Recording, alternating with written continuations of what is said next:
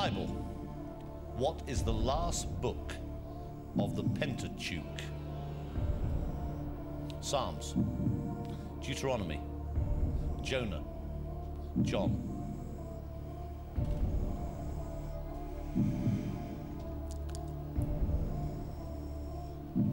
Deuteronomy. Why is so certain? Just, um, I read a lot. A long time since I've read the Bible. You got £125,000. If you give me a wrong answer, you lose 93000 And a play. Final answer. Final answer. You just won a quarter of a million.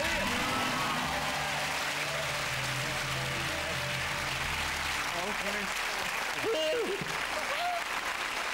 What do you that for? You can't Lucky don't look. Irish. Do not look at Chrissy. Do not look at your wife. Can we send her a business card? You were certain, weren't you? You knew it. There's the cheque. Have a look. It's got your name on it. Mm. Pay that into the bank first thing tomorrow morning. Kim Topman, £250,000. But we don't want to give you that. I'll put it there for now. You've got a quarter of a million at this moment. Next question is worth £500,000. If you did go for it and give me a wrong answer, you would drop £218,000. All right, Kim. Oh, fine. Okay. Question number 14. You have no lifelines, but this is worth £500,000. Here it comes. What was the middle name of actor James Dean? Byron, Burns, Blake, Browning. I have absolutely no idea. You seem almost happy. Well, it wasn't a question that I was tempted to go for. There's no way I'm going for that Oh, one. go thank you. on. Go on, have a Oh, wibble right, dibble dibble wibble. Go on. Um, no, thank you. No, I think it's time some of these good people had a go. Final answer, you can take the money. I will take the money, please, Chris, and thank you very much. You've been brilliant. Give him a huge hand, Kim Topman. You can take this now. Goes away with this cheque for £250,000. That's what you've done. That's what you achieved. And he just came for a nice day. I can't tell you, and I can tell by the look on your face, Kim, you couldn't care less, but I can tell you that James Dean was actually James Byron Dean. Couldn't care. could you? No, not at all. No, I'm very happy for monkeys.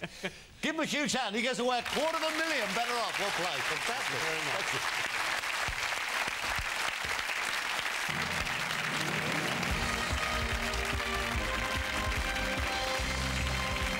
Nine contestants remaining. Time now to play fastest finger first. Remember, four answers, only one correct order. Get that order right in the fastest time. And you'll be next this Sunday night to play for a possible £1 million. Here comes the next question. Starting with the smallest, put these pre-decimalization coins in order of value. Shilling, farthing, guinea, crown.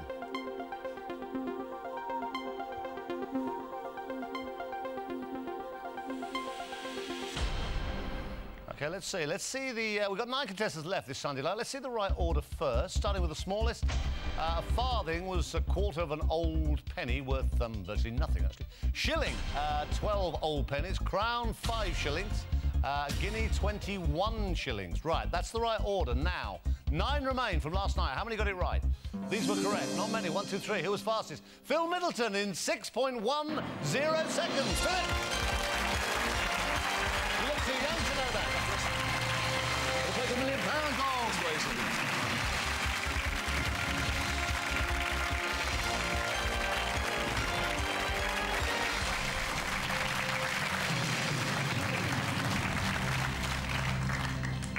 So, this is Phil Middleton, a senior prison officer from Worksop in Nottinghamshire. Up in the audience is his wife Anne, watching back at home.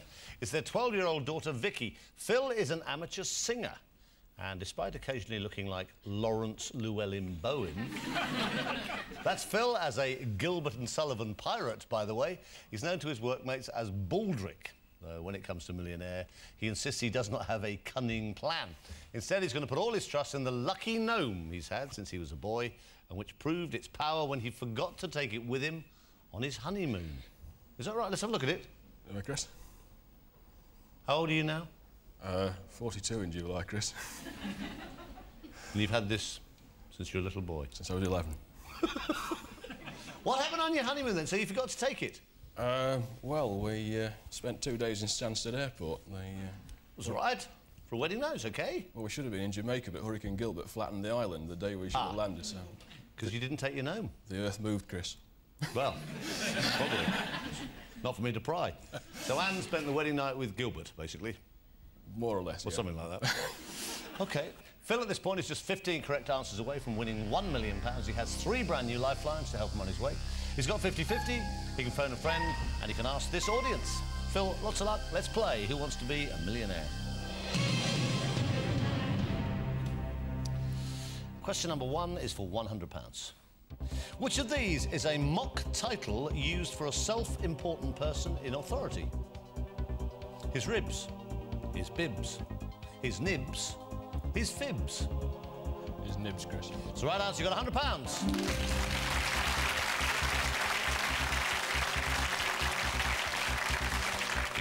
Question number two. you've got those lifelines. You probably won't need them. There are no trick questions. This is for 200 quid. In the well-known saying, practice makes what?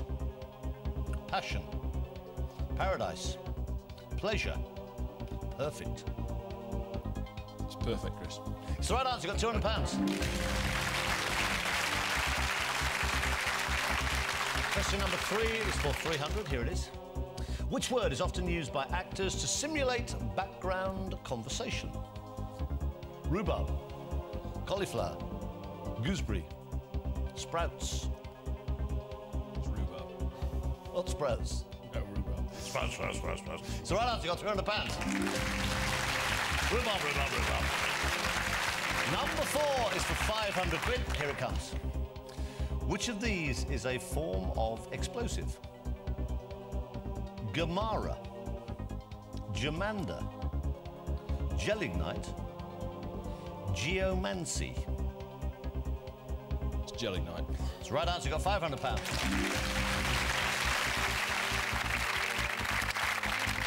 You've got all three lifelines. This is question number five. Which toy is a set of hollow figures that each split in half to reveal a smaller version of the same? Italian marionette, Russian doll, French puppet, Swiss mannequin. Russian doll. Sure. Sure. Final answer. Fine, lads. It's good. You got one thousand pounds. Well played.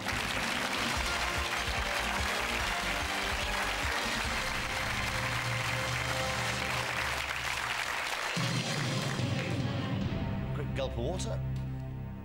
Took a nice big breath in after a thousand, Phil. Yeah.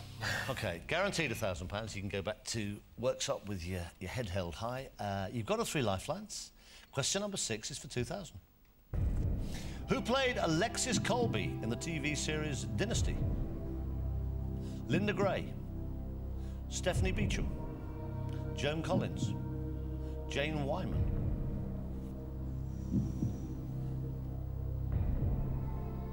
Soap's not a strong point of mine, Chris. Do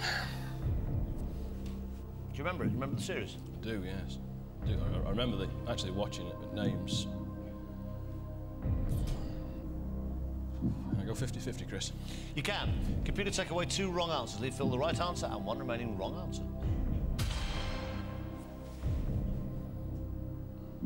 How's that helped? Not a lot, no. Ah, go to the audience, Chris, if I can, please.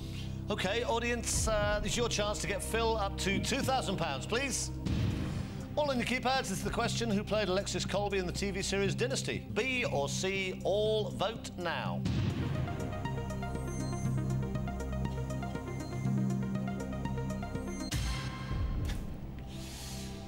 Well, 95% is quite high. I'll go with that, Chris. Thought you might. Yeah. Final answer. Final answer. It's the right answer. You got two thousand pounds.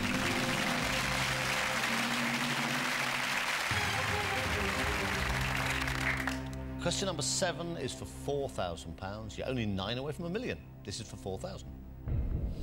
Where did the Brink's-Mat robbery of 1983 take place? Now, as a prison officer, You might know this. If I get this wrong, I'll never be able to go back to work. Victoria Station. Watford Gap Services. Heathrow Airport. Dover Ferry Terminal. Heathrow, Chris. Final answer. Final answer. It's the right answer. You got £4,000.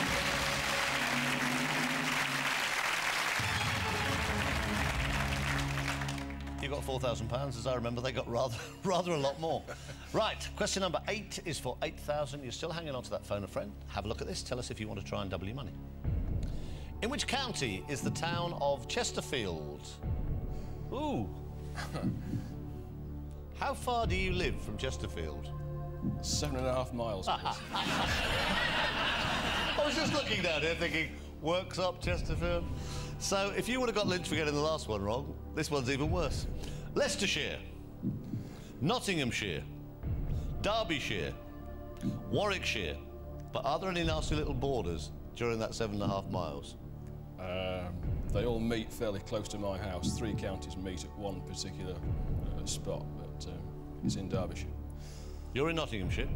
Only just.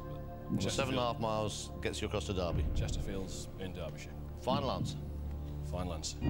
It's the right answer. You got 8,000. Well, that's helped, hasn't it? It's the luck of the draw. It's what comes out of the computer. One minute you're down in the dumps, the soap question comes up. The next two couldn't have been more useful. Question number nine. This is suddenly getting to be serious money. Question number nine is 16,000. Have a look. A tilde is a symbol used in which of these languages? Spanish, German, Russian, Japanese.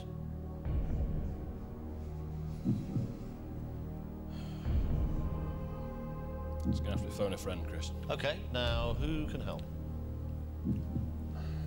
Tony Ray. Okay. Uh, tell him the question, four possible answers. Uh, it's for 16,000 pounds. What does he do? Would he use languages? What does he He's do? a headmaster of my daughter's primary school. So no pressure on him then. Hello? Tony! Hello? Hi, hello! Hello? Tony, it's Chris Tarrant here. Good evening. Hello, Chris, how are you? Well, I'm fine. It's very loud at your end of the phone. Are you all right? Fine, thanks. Okay, now, Tony, uh, I've got Phil here. That's obviously, uh, you've gathered that. Phil uh, is doing okay. He's in the chair. He's on £8,000. Right, But he's stuck. I'll do my best. All right, mate, that's all you can do. It's for £16,000. Next voice here will be Phil's. You tell her the question. There are still four possible answers. Okay. Thanks, Chris. Okay, 30 seconds, Phil. Lots of luck. Your time starts now. Hi, Tony. Hi, Phil. A tilde is a symbol used in which of these languages? Spanish, German, Russian, Japanese. Say the first bit again, Phil. A tilde. T Tilde? I yeah, T I L D E is a symbol used in which of these languages? Spanish, German, Russian, Japanese. You got eight seconds, Tony. I'm sorry, Phil, I don't know. Okay, thank you. Sorry, Phil, I can't guess at that. That's all right.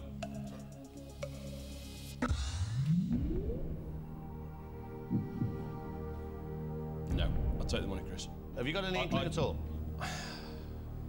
To be fair, no. I, I'd, if it was any, I'd guess at German, but I'm not guessing with that. That's. I'll take the money. Final answer. Take Fine, money. final. Take the money. Okay, give Phil a big hand. He goes away with £8,000. And I can tell you, if you'd said to me German, you just lost £7,000. The right answer was actually Spanish. Cheers, well played, mate. £8,000, well played. Thank you.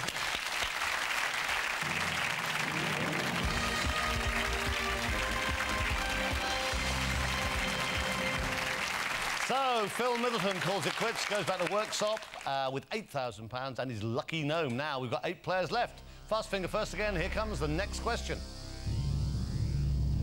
Starting at the head, put these body parts in order. Heart, larynx, cerebellum, tibia.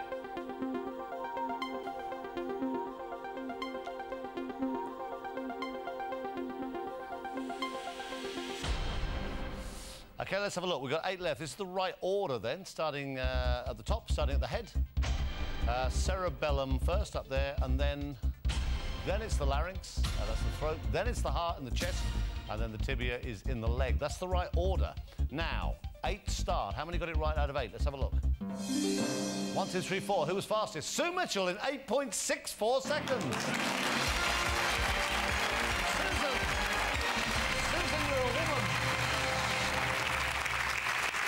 Play for a million pounds? Of course I do.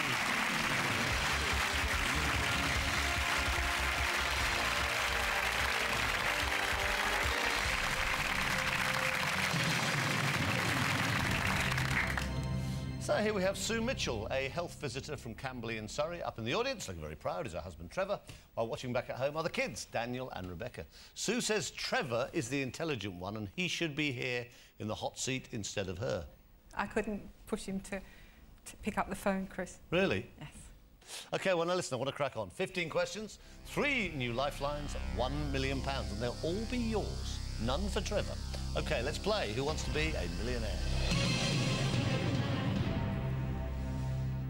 So, Sue, question number one for £100. Here it comes. You've got all three lifelines. Here we go. What does the word rep stand for in the occupation sales rep?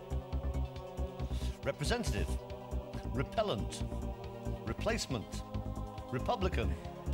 Representative. The right answer, Sue. You got a £100. You got a £100. This is for 200 quid. What name is given to the triangular upper part of a wall at the end of a ridged roof? Gable, fable, cable, table. It's Gable, It's Chris. Gable, you got £200. Question number three is for 300. Have a look, here it is. Which of these is a type of small dog kept as a pet? Thigh dog, lap dog, knee dog, leg dog. Lap dog, Lap dog, you got £300. Question number four is for 500 quid. Here it comes. Plates of meat is a traditional Cockney rhyming slang for what? Pete, feet, wheat, cheat. It's feet, It's the right answer, me all plates of meat. For 500 quid. Question number five is for £1,000. Which of these signs appears on a standard Monopoly board? No waiting, bus stop, roadworks, free parking. Free parking. Sure. It's the right answer. You've got £1,000. Well, that's it. Well, that's guaranteed.